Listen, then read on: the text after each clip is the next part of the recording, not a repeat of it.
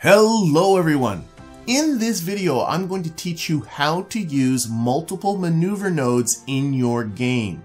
We'll start with looking at the tools that the game gives you to easily hop from one node to the other.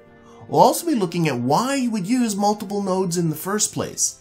This is going to include planning your burns out so that you know what the fuel costs are going to be before you ever get started, and we'll take a close look at two specific scenarios one a low orbit rendezvous and the other an interplanetary flyby, well, we'll see how looking many orbits in advance will allow us to be as fuel efficient as we possibly can be. So, let's get started. Alright, so here we have the Nerve 1 being piloted by two of my wonderful patrons, Philip P. and Tim D. And they've got themselves into a bit of a situation. See, this is kind of a Kerbin system runabout. It has the Delta V, it had the Delta V to be able to go out to the moon or go out to Minmus, but what it can't do is it cannot land safely on Kerbin. Has no parachutes, has no kind of aerodynamic wings or landing gear or anything like that. And moreover, it only has 239 meters per second of delta V left. And what these two want to do is to get themselves to our space station here, our tutorial station uh, that we saw during our space shuttle, briefly during our space shuttle episode. And they're in, they've gotten themselves into this sort of low Kerbin orbit, but a rather eccentric they need to get themselves to the station, and moreover, they only have 239 meters per second left. They want to do this as efficiently as possible. So let's first of all start by setting our station as a target. And you can see just with the way things are working out, yeah, we're not coming anywhere close to the station. We need to do a little bit of manipulation in order to get ourselves there. Now, one thing we can do, let's unselect the target for now is I do have math videos to figure out what kind of delta V does it take to get from this orbit to the orbit of the station, but you can do it in game by using a couple of multiple nodes. The most efficient thing for you to do is to get your plot stuff out towards apoapsis and do a burn to get your periapsis to match with the uh, orbit of the station. So why don't we do this just for now to see how much that would cost. So I'm just going to put a maneuver here right out here at Apoapsis. I'm going to go over to select our little widgety tool here, and I'm just going to push this out. Oh, we can up the scale here a little bit. Just so approximately, I mean, I can look at the station here. The station's at an altitude of 119.7 kilometers, so if we can push that out to about the same, I'm sure that'll be close enough. There we go, that's pretty good. And then our next burn would be to rendezvous with the station, but that's going to just cost the same as it would take to insert ourselves into an orbit that's identical to the station. So although we don't wouldn't do this with a maneuver, it ends up being costing the amount that this maneuver will be. So if we do a little bit of retrograde here at periapsis, and bring our Apple apoapsis down till it just matches. And again, we can get over to our little widgety tool if we really want to dial this in. Oh, I think I went actually a little bit too far. That's pretty darn close. And I can look at the burn here. Now, be careful. What this indicator here is showing is what the cost of your next burn is going to be. So that's this burn out here at apoapsis. It's going to be about 22 meters per second. If I want to know the cost of the second burn, notice that down here in the tools, you do have the ability to switch back and forth between the two maneuvers. As well, if it ever gets to the point where it's off of the maneuvers entirely, you can actually select your maneuvers from here as well. But if I put it on the editor details here, whoops, I just came off, I can actually see the amount of the burn as well. At least the amount of prograde, normal, and radial, although I put nothing in for normal. It'd be nice if there was a window here to give you the total. If you know the Pythagorean theorem, you can figure it out for yourself, but I can see here that the, because it's only prograde, I got a 22 meter per second prograde burn on the first maneuver, and my second maneuver is retrograde, notice the negative sign, of 87. So, 22 plus 87 makes hundred and nine, I can do this, 109 meters per second is what this is all going to cost me if I do it as efficiently as possible. I have 239 meters per second left, so I should be able to do this handily, but I do have to be a little careful. I can't muss around too much. So the first thing to do is I'm going to go to the second maneuver here, and we're going to get rid of this. And what I need to do, whoops. There it goes. And what I need to do to start off with is actually do this first maneuver. So let's get ourselves out there and do that.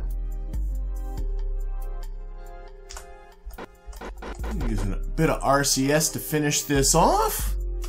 But there we go, there we're done. So now what we've done is we set our periapsis, let's take the number off so it'll match up with the orbit of our station. We're gonna aim to rendezvous with the station right here. Once again, we'll set the station as a target, and as you can see, we're coming nowhere near. Now, what I've done in the past is talk about orbit phasing, where you can make a maneuver and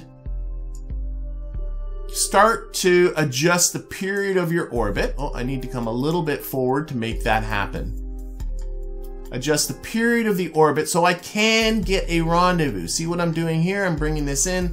So we will get a rendezvous and I'm doing that by increasing the apoapsis of our orbit so that we'll come out to here and that will slow us down and then we'll come around and meet, match the station. But notice that this burn's costing me 201 meters per second and I still got to match velocities with the station.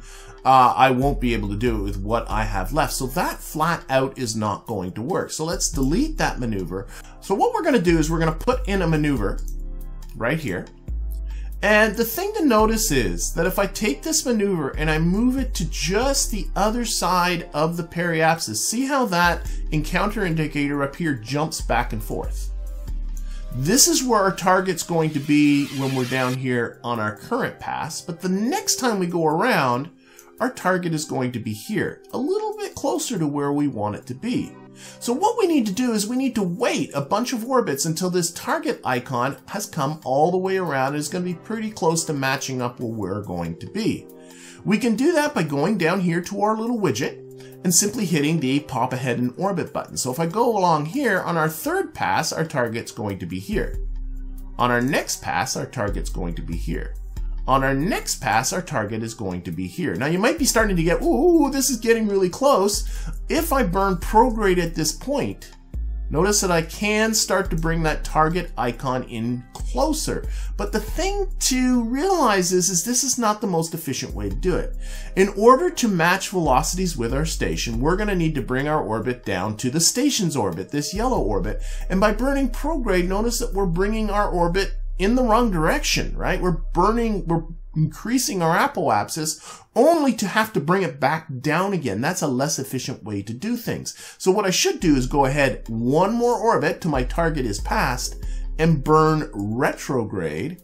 And now I'm bringing my apoapsis here in the direction I need to bring it anyway. And at the same time, I'm bringing my close encounter indicator down in here close. Now there's a lot of icons here at the same time, but one of them is the separation icon of 113. So we can start to push, burn retrograde, bringing that number down. I know it's a little, let's put it in a better spot. There we go. In fact, why don't we use the widget here? You can see each time I'm burning retrograde, we're getting closer. Oh, I went a little too far, and we can tweak this in, well, just the way you would normally. You should be able to get this. Oh, oh, I saw pretty close pretty close there. Look at, oh, 0.1. 0.1 kilometers is obviously pretty good. So what we have here is a burn that we're going to do after several orbits. It's two hours and 46 minutes away. Uh, the burn is only 23 meters per second, but that should set us up for a rendezvous doing in after one more orbit after that. By the way, you can also put in a second maneuver on your current orbit to adjust this. That doesn't save you anything in this particular situation, but we're going to talk about it in the next situation where it does save you something. Right now, though, all we got to do is get ourselves to this maneuver in 2 hours and 46 minutes. So let's do that. Again, turn that off. We can use RCS to kind of finish this off. Notice here our indicator, we can get the, oh, 64 meters. I think I don't need to do anything more than that. There we go. So we're going to be meeting up in 36 minutes and 23 seconds. And from here on in, this is a rendezvous like you've seen me do in previous videos. So I don't think I need to talk about that one in particular detail. There we are. We have docked with the station. Let's get on to our second scenario, where we have, admittedly, a rather janky looking probe um, that uh, had, you can imagine that it had just flown by Eve here. And while we were going by Eve, I thought, why don't I get myself a little bit of a gravity assist, do a little bit of a burn, and see if we can not get ourselves out to Duna with the same probe. However, this probe was never really designed for any of this, and if we take a look here, we only have 158 meters per second. No way I'm going to get a capture of Duna with that, but perhaps I can orchestrate myself a bit of a flyby. Now, if I'm super duper lucky, if I set Duna with a target, we will be encountering Duna, but no, that's not going to happen. You can see here that we are going to be missing Duna entirely. Well, that's okay. What we can do again is use much the same sort of trick we just used with an extra little bit of a twist. We're actually going to be manipulating two nodes at the same time. So the first thing is the same thing as before. This is going to be, let's see here, when, yes, when we are here, our target is going to be here. So that's not good enough. So let's see what's happening on our next orbit now. So we'll put in another maneuver and we won't put anything into this maneuver. We'll just kind of manipulate it here, put it on the little widgety tool, and we'll pop ahead in orbit. And you can see this is what we're going to be on a subsequent orbit. Still not good enough. We're going to keep hopping ahead until we happen to come close. Now be careful. The thing to realize here is we're jumping ahead years. We're already two years and 223 days in the future, but that's the nature of orbital mechanics. If you want to save fuel, you need to sacrifice time and expediency. But we're not in a rush. We're okay. These look like they're kind of close. Let's see if we can do ourselves a little bit better. We'll pop ahead another orbit. Oh, that's pretty far away. Let's pop ahead another orbit. Let's pop. Oh, oh, okay. These are getting, I think, probably as close as we're going to get it. Yes, this is seven years in the future, but you know, we got what we got. Now, I'm going to just, man this maneuver can be anywhere along this orbit here, so I'm just going to put it here so it's well out of the way. And what I could do is I can start manipulating this orbit, but if I really want to be efficient, what I should be doing is tweaking my current orbit so that a little bit of a change now makes a big change in seven years in the future. So what I'm going to do is I'm going to come down here. I'm going to put a maneuver just ahead of us. This maneuver is what, four hours ahead of us? We can even tweak it so it's closer. It's a, about an hour and a half ahead of us. Like on these time scales, that's pretty much right now. And what I want to show you is how just a tiny change here. So right now the scale is set to a change of one meter per second. Let's add Actually, let's select so we can see our actual distances here. There's our separation. Let's add uh, some prograde to this. Oh, I can see that that's making it worse, but notice that one meter per second prograde made a significant difference. Let's go retrograde.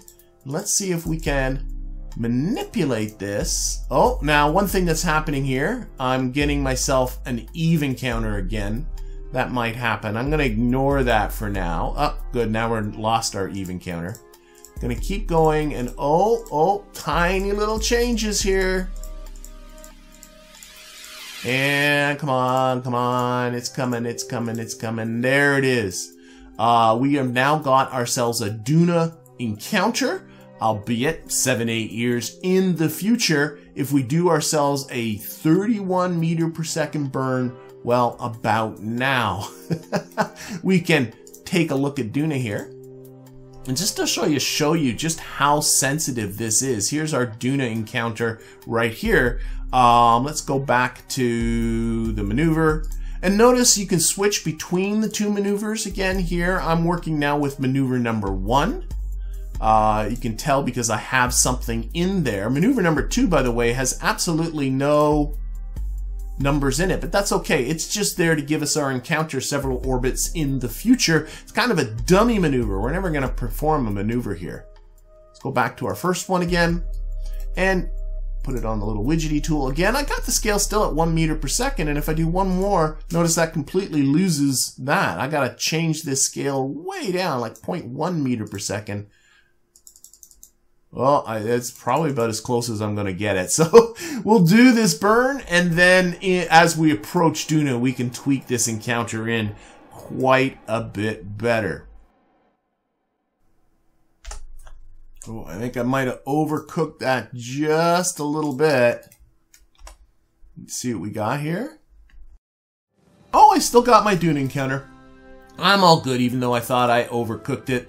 Uh, again, this maneuver here has no delta V in it. That's the only one that's left, but it is there to, necessary for us to see our encounter that's coming up seven years. Actually, the actual encounter, seven years, 395 days in the future. And as our probe takes the lazy route out towards Duna, let's go over what we've taken a look at in this video. Of course, the main theme was multiple maneuver nodes and how to use them. We use them to help plan out our burn so we know how much fuel we're going to be using before we even get started. And then we took a look at two very specific situations. We looked at a low Kerbin orbit rendezvous, and then we skipped out to an interplanetary flyby. But the idea both was the same how we can use maneuver nodes to look multiple orbits into the future to help us plan our trip as efficiently as we can. And as our probe makes its way past Duna, I'm going to thank you for watching and hope to see you again next time.